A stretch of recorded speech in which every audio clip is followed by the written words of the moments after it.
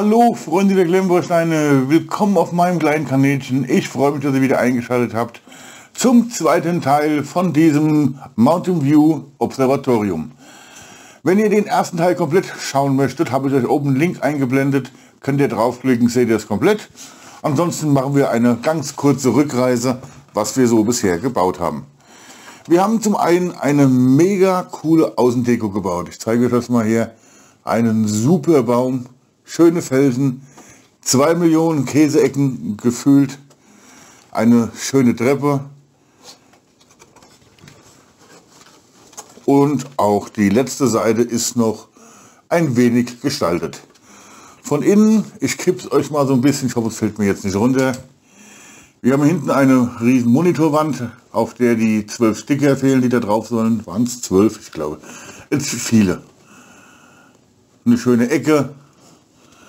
Hier neben haben wir noch so ein... Oh. Erstmal die Schubladen wieder rein. Hier drüben haben wir noch so einen Schlafbereich. Da ist die Treppe für das Obergeschoss. Hier haben wir so einen Technikraum gebaut, hinter der Glastür. Dann kommen wir wieder zurück. Ein Tisch mit Pizzakarton, einen schönen Schrank, wo die Schubladen alles rausrutschen. Ja, normalerweise kippt man das hier auch nicht. Dann haben wir gebaut, kann ich euch das so zeigen, oder? Ja, ich baue eh gleich hier weiter. Ein Obergeschoss von außen jetzt weniger spektakulär wie unten, aber schön gestaltet. Schwarze Fensterrahmen, bisschen Mauerwerk, schöne Ecken. Abflussrohr wurde auch gedacht. An äh, Fallrohr heißt das fachmännisch.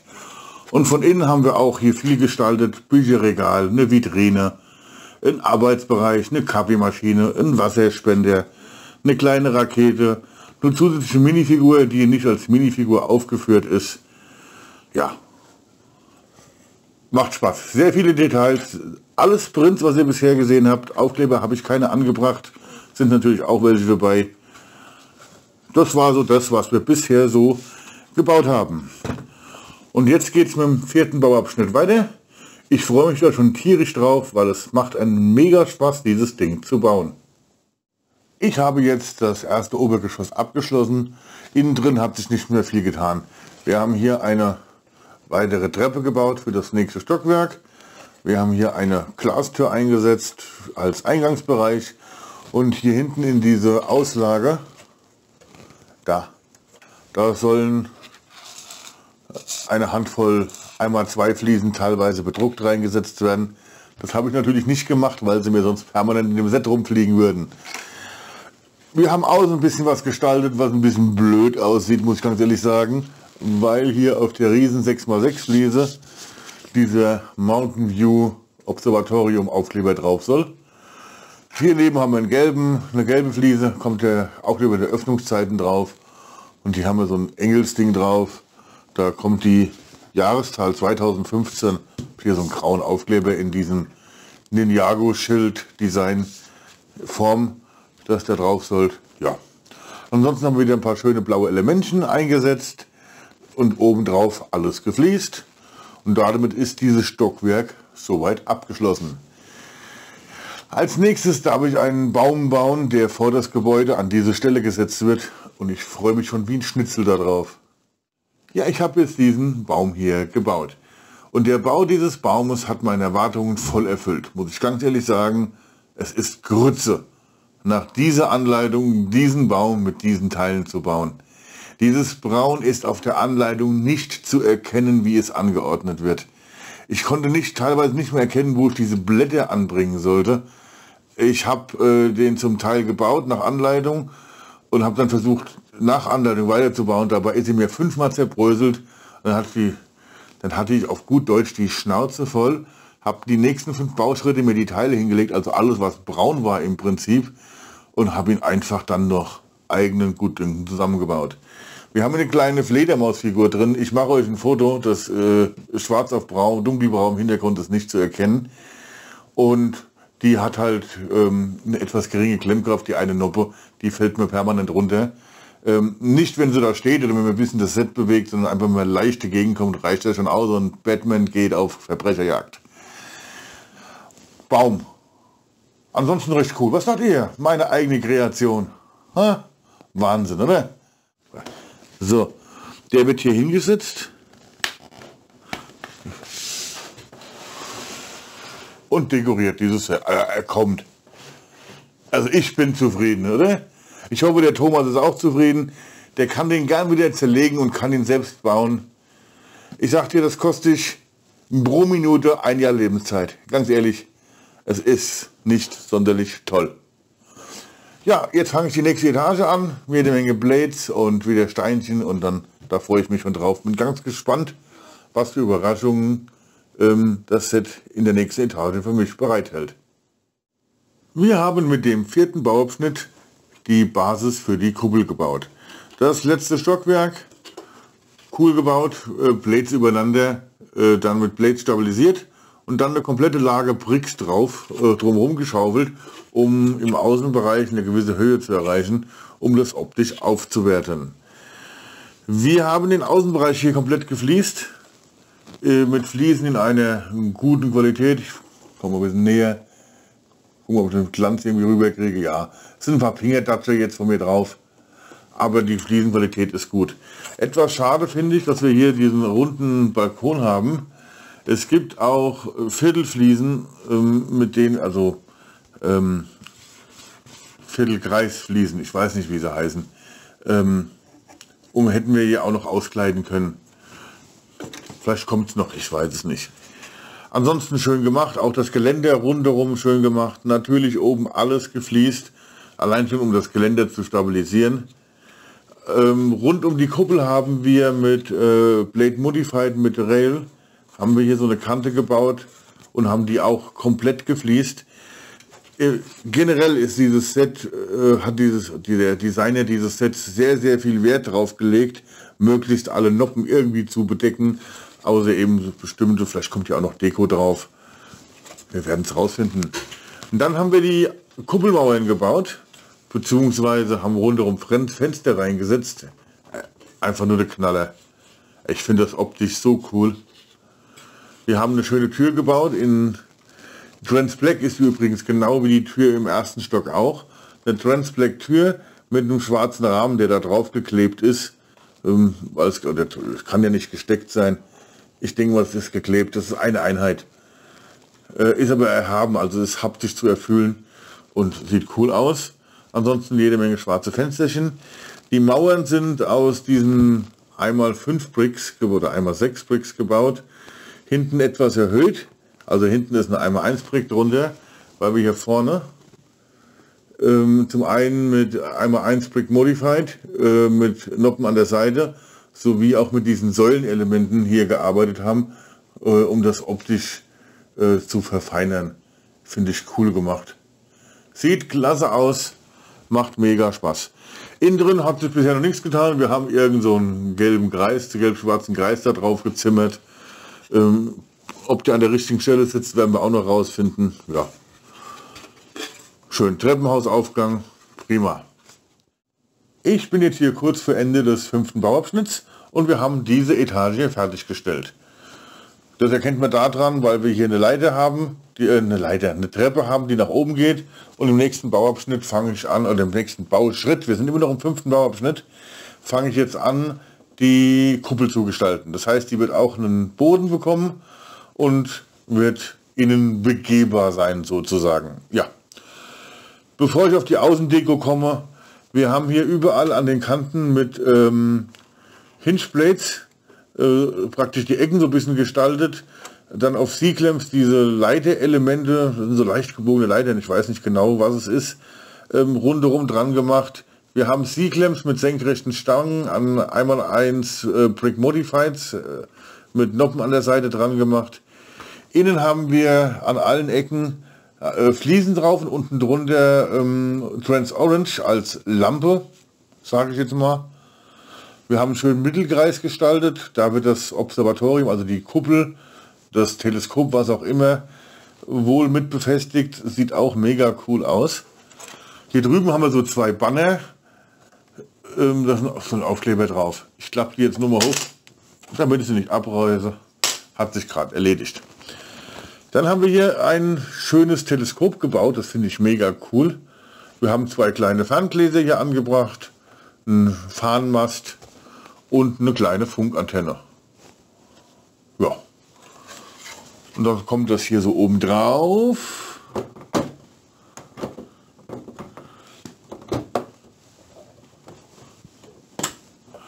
Ich habe, das kann nicht wahr sein. Ihr habt es schon wieder abgerupft. Das ist mir schon zweimal passiert. Das seht ihr mal. Das habe ich extra gemacht, euch zeigen kann. Das sind so Viertelkreise, die dann hier, die Wände, die so ein bisschen wabbelig wären, werden halt so stabilisiert. Feine Sache. So, jetzt mache ich die zwei Banner noch dran. Gucken, da gibt es eine Seite mit Angusspunkt und eine ohne. Dachte ich, oh, wird schon gut sein. So. Und dann hätten wir diese Etage abgeschlossen. Mit dem fünften Bauabschnitt haben wir jetzt hier angefangen, den oberen Teil der Kuppel zu bauen. Der ist außen wunderschön verkleidet, überall Käseecken oder so eine Pyramidenecke drauf. Finde ich echt cool. Hat natürlich zur ich im nächsten Bauabschnitt, Bauabschnitt mich mit hunderten von diesen Käseecken rumschlagen darf. Wir haben auch einen Leuchtstein hier dabei. Ähm, der leuchtet bei mir nicht, weil keine Batterie dabei waren und ich keine zwei von diesen Batterien da habe. Das sind Knopfzellen, zwei Stück. Ja, schade. Können wir mit leben. Innen haben wir ein bisschen Print. Der Monitor soll wieder ein Aufkleber drauf. Schade. Ansonsten ein bisschen Zeug angedeutet. Ja, ich habe es jetzt durchgezogen bis zum Schluss. Habe die Kuppel fertig gebaut. Ich finde, das Ding sieht mega cool aus. Hier hinten haben wir so ein Knubbelchen dran. Da ist übrigens der Leuchtstein, der nicht leuchtet, weil ich keine Batterie habe. Aber hier ist so ein Knubbelchen. Wir können dann hier das, das Ding aufmachen.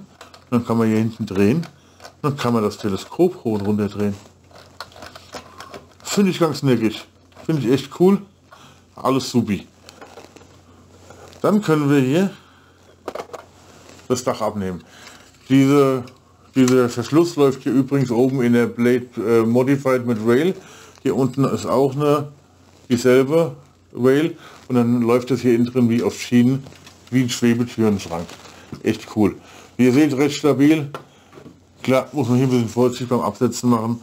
Und dann können wir mal, hey, machen wir das mal so. Und dann gucken wir hier rein. Was wir da gestaltet haben, Schränkchen, Monitore, Überwachungsgeräte, alles da. Und damit wir noch besser reingucken können, können wir hinten noch ein Teil abmachen. Und das seht ihr auch hier den Mechanismus mit dem Zahnrädchen Achse dran, läuft hier auf dem Zahnrad. Ganz simpel gemacht, aber cool. Finde ich echt klasse. Ja. Dann baut man die auch genauso ruckzuck wieder zusammen. Ach so, das Teil ähm, habe ich vergessen einzubauen. Das gehört irgendwo ins Teleskop in die Mitte rein. Das hat man ja übrig gehabt und habe ich zurückgeblättert und habe ich gesehen, dass es das fehlt. Das Ding hält trotzdem. So. Hier unten schön in die Rail rein. Angedrückt. Funktioniert. Die haben übrigens hier in Stoppern eine äh, einmal ein Round äh, Brick, dass man die nicht rausziehen kann. Cool gemacht. Und das setzt jetzt aufs Gebäude drauf und dann gucken wir uns das Gebäude schnell im Fazit nochmal an. Bevor wir uns das Set nochmal so kurz anschauen, eins, zwei Worte zur Anleitung. Schwierig. Also, der normale Bau der normalen Elemente, die ganze Gestaltung, Deko, alles super zu bauen nach der Anleitung. Schwierig wird es bei den Bäumen, bei allen beiden. Ich konnte das Braun da drin nicht erkennen, wo ich was hinstecken sollte. Beim Weißen hatte ich auch ein bisschen Probleme, aber wenn man genauer guckt und sich die Teile vorher hingelegt hat, die man für den Bauschritt braucht, kriegt man es hin. Gar keine Frage. Ist halt eine Nummer schwieriger. Problematisch ist, dass ab und zu auch mal, also ich kann mich an zwei konkrete Fälle erinnern, da waren auf einmal vier Käseecken da und einmal Einsbrick an der anderen Stelle den ich vorher da nie hinsetzen sollte laut Anleitung, der dann mal einfach da war. Gut, steckt man hin, es hat alles gepasst, es ist stabil. Man kann also nachbauen, es ist nicht ganz so einfach. Auch der Farbcode ist mitunter schwierig, wenn es darum geht, Dark Green und äh, Dark, äh, Dark Green und Green, Dark Blue und Blue sowie transparente oder bunte transparente Teile zu differenzieren, ist sehr schwierig. Da muss man einfach gucken, was da ist und was logisch ist. Vielleicht auch mal ein, zwei Bauschritte vorgucken ähm, und dann findet man dann raus. Es ist eine kleine Herausforderung, aber es funktioniert. Kommen wir zum eigentlichen Set. Das Set ist wunderbar zu bauen. Es hat hier mit dem Erdgeschoss angefangen. Die ganzen Details hier in dem, in, schon in dem ersten, ersten Bauabschnitt, den ersten beiden, war so umwerfend. Das hat einen richtig gefesselt und hat ihn, ja, hat jemand, hat mich an das, an das Set gebunden. Ich wollte das unbedingt fertig machen. Es hat echt Spaß gemacht zu bauen. So, dann gucken wir mal. Wir haben hier, wir fangen wir hier drüben an. Da haben wir so ein Schränkchen in der Ecke, also in, an der Wand. In der Ecke eine Fliese, kommt ein Aufkleber drauf. Wir haben einiges an Aufkleber. Wir haben aber auch einiges an Prints. Die Aufkleber sind recht schön, äh, glänzen, sehen super aus, sind recht dünn, aber ich habe sie halt nicht angebracht. Ist nicht mein Set, kann diejenige selbst gucken. Ich weiß nicht, wenn man die falsch aufgeklebt hat, ob man die nochmal runterkriegt, ohne dass sie kaputt gehen. Das soll derjenige machen, der das Set bezahlt hat. So, dann geht hier drüben weiter, ein paar Kistchen. Ja, an der Wand noch ein Monitor, wo ein Aufkleber drauf sollte. Ansonsten, was ihr seht, sind alles Prints. Das sind nämlich auch eine Menge Prints mit dabei, muss man auch mal so sagen. Ja. Hier drüben haben wir den Technikraum dann noch. So. Der hatte auch Spaß gemacht zu bauen. Sehr viele Details. Und ich habe nichts abgerupft bisher. Ich bin so stolz auf mich. So. Wie machen wir das jetzt? Machen wir am besten so. Äh, Staffelei war noch dabei, äh, Aufkleber kommt da drauf. Stell ich mal neben ihn. Ist jetzt nicht so das Ding. So, dann haben wir gebaut das erste Stockwerk. Da haben wir in der Ecke auch einen Schreibtisch, unglaublich viele Details. Irgendwas, ach, Schränke? Ach nee, Quatsch, da ist eine Vitrine in der Mitte. Da liegt eine Fliese drin, die wackelt hin und her. Hier haben wir diesen Zeitungsartikel im Schrank, den wir hier hinten gebaut haben. Sehr schöne Details. Auch dass der Boden nicht gefliest ist, stört mich hier gar nicht so. Ich finde allein durch die Details, hier der schöne Schrank, da noch ein Schreibtisch mit einem Space Shuttle angedeutet drauf. Mega cool. Hier drüben noch eine Essecke und da die neunte Minifigur ohne Gesicht, ohne alles, einfach nur so ein blauer Astronautenhelm, Tischchen. Hier drüben den Wasserspender, den fand ich gerade, den muss ich euch noch mal zeigen. Und nebendran so ein Automat, das auch sehr cool gemacht, sehr schöne Details bei dem Set. Das hat echt Spaß gemacht. Das setzen wir hier so drauf. Gucken, dass wir nichts dabei kaputt machen.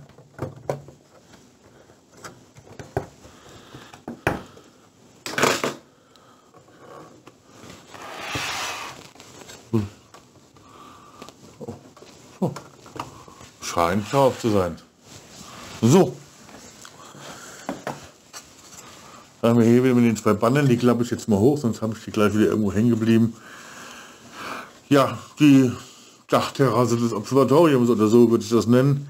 Sehr, sehr cooles Mikrobild, Fernglas, äh, Teleskop, nebendran Ferngläser, schöne Fahne. Hier außen ist der einzige Bereich, der komplett gefliest ist. Fliesenqualität ist okay. Nicht hervorragend, aber okay bis gut. Funkantenne, ja. Und hier halt, da war jetzt nicht allzu viel los. Bisschen Treppe drin.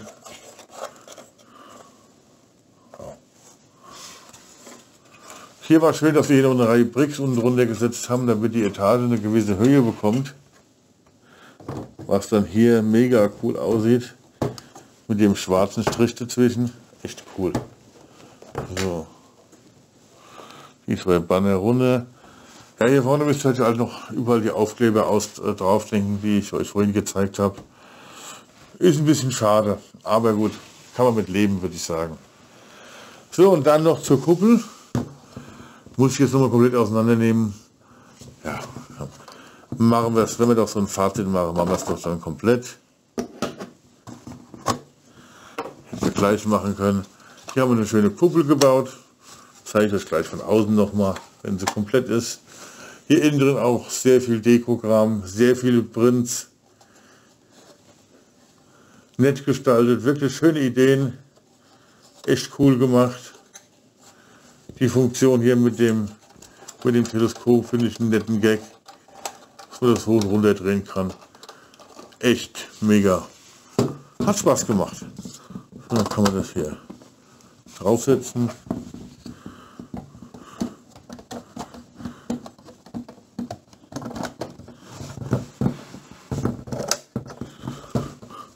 Wie ihr seht, ist es recht stabil, kann man auch ein bisschen rudimentär mit umgehen, alles gar kein Problem. Und dann kann man das hier draufsetzen. Wem das stört, dass das hier so ein bisschen kratzt, der kann einfach ein 2x2 Brick, äh, Plate äh, noch drunter setzen, dann kommt er ein bisschen höher, dann dürfte das noch ein bisschen einfacher zu drehen sein. Aber es geht. Ich frage mich halt, wie oft man das hin und her dreht. Dieses wunderbare Set, ich finde es mega cool. Wir messen es noch mal kurz aus, da es ja ein bisschen über die Blade hinausgeht. Ja, der Baum ist jetzt gestaltet. Ich nehme mal die Maße mit. Dann ist es 36 cm in der Breite. Ja, das war die Breite. Und 30 cm in der 30 cm in der Tiefe und knappe 39 cm hoch. Das wiegt auch ganz schön was. Wie gesagt, knapp 4000 Teile, 3900. Coole Sache. Schöne Steinequalität.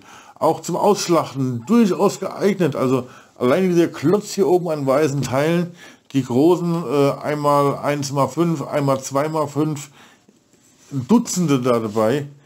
Auch große Bricks, 2er, 3er, 6er, Blades unendlich viele in weiß Fliesen in Weiß, in Dark Green, jede Menge. Also auch zum Ausschlachten bestimmt kein verkehrtes Set. Schreibt mal eure Meinung drunter. Habt noch einen schönen Tag und denkt immer dran, Klemmbausteine verbinden.